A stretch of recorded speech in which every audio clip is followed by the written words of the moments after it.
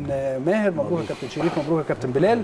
رأي حضرتك في المباراة كابتن. مبروك يا كابتن إسلام مبروك للنادي الأهلي آه، الفوز النهارده بثلاث أهداف لهدف واحد. آه، وانتقاله بقى من دور آه، ال 32 للدور ال 16 أنا عايز أقول لك كابتن إسلام إن إن الشوط الأولاني كان شوط متوسط وضعيف فنيا آه، للنادي الأهلي. أيوة. غير ما اتكلمنا في في بداية الاستوديو التحليلي وقلنا إن النهارده الدوافع واللعيبة اللي آه، هتبدأ تثبت آه، آه، وجودها من خلال ال- المباراة. آه، آه، ما ما أدتش الغرض ال- ال- المطلوب منها آه، من البداية. آه، نتيجة إن آه، آه، بني سويف المنظم أنا بحييهم طبعا على الأداء الجيد اللي هم آه، آه، بدأوا بيه المباراة. آه، حسينا إن فريق آه، عنده ثقة. آه، مش خايفين مش راهبين لقاء النادي الأهلي بل بالعكس فرحانين ومبسوطين وحاسين إن هم النهارده جايين في استاد القاهرة بيبادلوا النادي الأهلي آه، في حتة الاستحواذ في حتة الباص في حتة الانطلاق من الدفاع للهجوم. آه، لعبوا بطريقة توازن واضح قوي في الدفاع.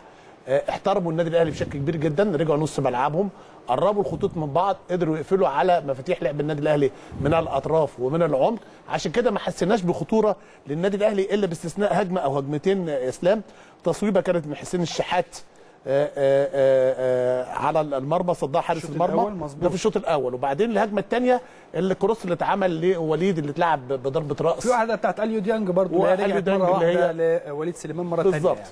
يعني تقدر تقول فرصتين عكس الشوط الثاني اللي النادي الأهلي آه، آه، قدر يخلق لنفسه تسع آه، فرص. وأنا شايف إن الفرص اللي اتخلقت الشوط الثاني للنادي الأهلي آه، فرصة 2 3 4 5 6 7 نتاج التغييرات اللي عملها مستر فايلر. واضح قوي إن بين الشوطين مستر فايلر اتكلم مع اللعيبة بشكل آه، يعني في شيء من الشدة. آه، التغييرات اللي عملها لا اضافها مستر فايلر آه، وضحت بشكل كبير جدا. نقلتنا ودخلتنا في ال game زي ما إحنا اتكلمنا وزي ما إحنا كنا عايزين من لعيبة النادي الأهلي. وعلى رأسهم طبعا أحمد فتحي اللي نشط الجبهه اليمين بشكل كبير جدا مع أحمد الشيخ لحد ما نزل آه، جيراردو. برضك قدر ينشط لنا الهجمة الش- الشمال. ادى ثقه لمحمود وحيد في تبادل الهجمات من ناحية الأطراف. بدأنا الكورسات العرضية اللي كانت مؤثرة على آه، آه، بني سويف. إحراز الأهداف ثلاث أهداف جمال لوليد أزارو. وأحمد الشيخ ثم وليد ازارو وإحنا قلنا محتاجين ازارو نجيب جوال عشان يخش ثقة المباريات. فأنا شايف إن أداء النادي الأهلي اتغير بشكل كبير جدا في الشوط الثاني أفضل كتير جدا من الشوط الأولاني. تمام. كابتن شريف أعتقد